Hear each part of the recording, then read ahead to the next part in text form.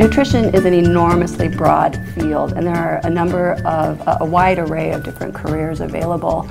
It's a very young science and it's an applied science, which is wonderful because you can learn something in the class and literally go out into your community and see it happening, see the principles happening in your everyday life. Um, nutrition is very exciting right now in that it holds great promise for being one of the largest solutions for how we might control healthcare costs through prevention. There are three options within the nutrition major. There's dietetics, nutrition health sciences, and nutrition food service systems.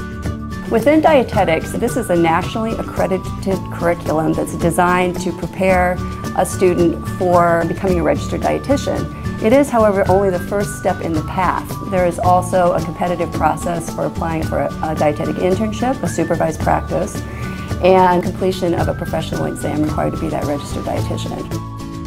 With a degree in nutrition with the dietetics option and presumably pursuing the registered dietitian credential, students take positions in clinical settings, in hospitals, long-term care, providing medical nutrition therapy for patients. They also take roles as administrators of public health programs, delivering public health programming, nutrition messaging, as well as the school system is a large employer of registered dietitians. The health sciences is particularly rigorous in the sciences and is a nice platform from which to apply to medical school. In addition, um, this is also one of the options that, that folks choose to go into additional graduate study, whether that's additional nutrition graduate studies or, or a field that would be complementary. So it's literally preparing for the next level of education versus typically not necessarily entering the workforce at that point, but, but still a capable um, educator and nutrition professional.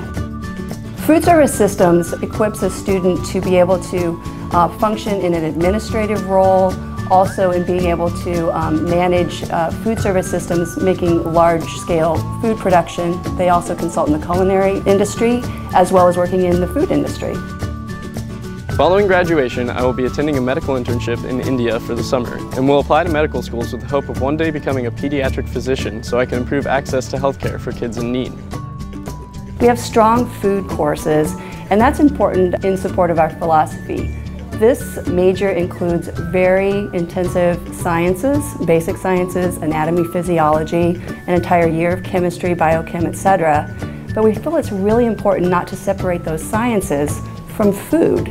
So if you don't know your way around food and its properties, how to manipulate it and translate it to something that people can use, how are we going to impact health?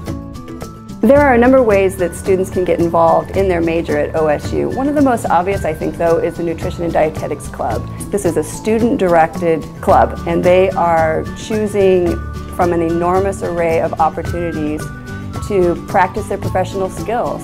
What I saw here that I haven't seen in other universities is a group of students really putting out near professional services under their own direction, making decisions, fact checking, making sure they're, they're doing correct education, and really impacting community health.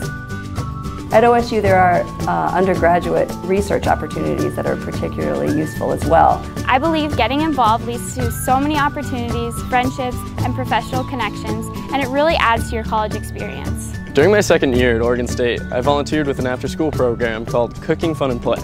The program met four days a week and provided youth in third through eighth grades with the opportunity to gain culinary skills as well as nutrition and physical education. Twice a week, the class would split into groups and make entire meals, and during the other two days, we would focus on physical activities such as swim lessons or team sports. I really enjoyed volunteering with this program because it allowed me to apply classroom knowledge in a real-life setting. With such large class sizes, it can be intimidating getting to know professors. My involvement in the Nutrition and Dietetics Club enabled me to work closely with professors and faculty outside of the classroom. Although outside involvement is important, it also takes time and energy for academic involvement. I noticed that I performed better in their classroom when I felt comfortable asking questions or seeking extra help when I needed it. One of the many amazing experiences I've had at OSU is the ability to connect with faculty outside of the classroom. While I was working for a summer day camp on campus called Kid Spirit, I served as a head instructor for many children of OSU faculty, which led to me getting to know professors and instructors of mine outside of the classroom. One connection in particular led to me working as a tutor for a prior instructor's child who has special needs. This job in turn led to an opportunity for me to work as a respite care provider for children with special needs in the Corvallis and Albany communities. I've had the pleasure of meeting many amazing families in this community and gained a second family in the process just by taking the time to connect with my professors and instructors outside of the classroom. I think if you love science, and you're pretty strong in that, are creative, and you see yourself in a disease prevention role, nutrition may be a lovely fit for you. I personally have had um, a very fulfilling career in a number of different roles. It's going to allow a student that has this kind of preparation innovate how nutrition care is delivered in the future and how we're going to translate that information uh, into better health for the consumer.